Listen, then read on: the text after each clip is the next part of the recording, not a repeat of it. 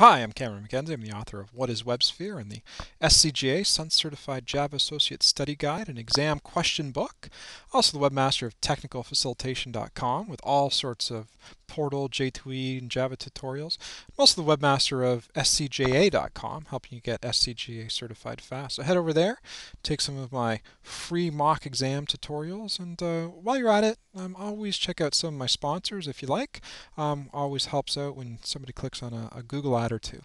Anyways, one of the things that I wanted to talk about right now was uh, the idea that, well, sometimes you can have data clashes when data is sent to the server. So I've got a portlet here and I, I type a number in and I'm supposed to guess the number of the portlet.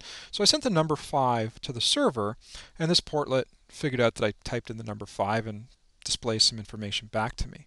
Um, but how did that particular portlet know to grab that information? Uh, for example, I've got three portlets on this particular page here.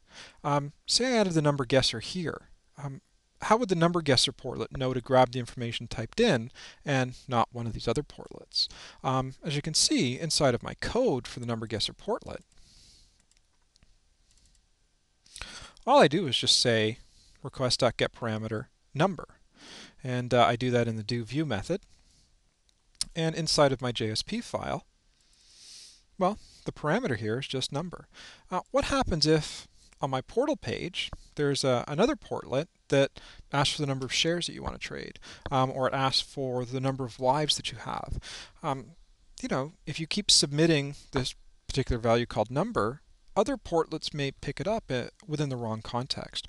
So one of the things we want to do inside of our portlets is make sure that whenever we have a parameter that we're sending back to our portlet, that only our portlet gets that information.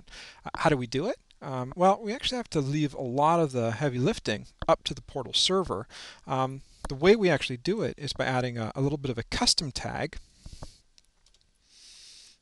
or sort of a, a custom custom code into into our, our portlets. So what I can do is I can take the render response object. and There's a special method called getNamespace, which is a unique identifier for this particular portlet. And before I say, you know, name equals number, I say name equals render response dot get namespace number. That will then uniquely encode the unique identifier for this portlet on this page before that number. So I'm just going to take that there Copy that. Put it right before that value there. And now, when this information is submitted to the server, the unique ID associated with this particular portlet, that is,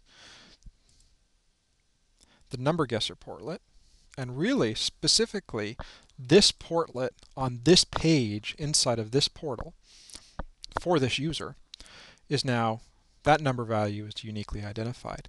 Now, the other rub is inside of the actual portal, inside of the actual portlet, so this is the number guesser portlet that grabs the information typed into the text field. So here I'm saying string number equals request.getParameter number. And so that number there is really that number there. Well, now the number in the JSP has this unique identifier in front of it. I have to now put that unique identifier in front of this value as well. And so in order to do that, in order to do that, I put the unique identifier in front of the number. And so here instead of saying request.getParameter number, I say request.getParameter response.getNamespace plus the number, which matches response render response dot get namespace number inside of the JSP. This now uniquely identifies that number field so no other portlets on any on the same portal page will try to react to that information. Now as far as the actual portlet goes, when you run the portlet, and we'll allow this to recompile and refresh in the server, if I type in the number 1, guess, try again, 5, guess, the portlet behaves in exactly the same way. Okay. However, there won't be data clashes on the server. And the key to that is this, oh, extremely important get namespace parameter.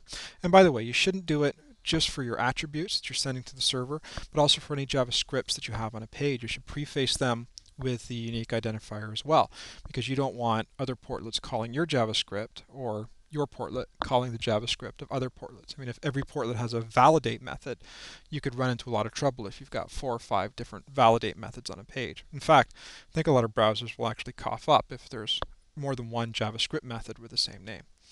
So that is the importance of uniquely identifying your fields. Now, for most of the examples that I do in my book, and most examples I do on the website, I actually don't put that in just to try and simplify some of the code, but it's extremely important. In production code, you always should encode the namespace of your parameters. Okay, that's about it. As I said, I am the webmaster of pulpjava.com, technicalfacilitation.com, and scj.com. I would love it if you went to Amazon, charged like five or six copies of What is WebSphere to your boss. Um, you should have an expense account by now, maybe even a couple of the exam scam SCJA guides. It would definitely help out my bottom line. And if you can't do that, at least visit one or two of my sponsors in the Google Ads. Anyways, that's about it for now. The last thing I'm going to say is happy WebSphere.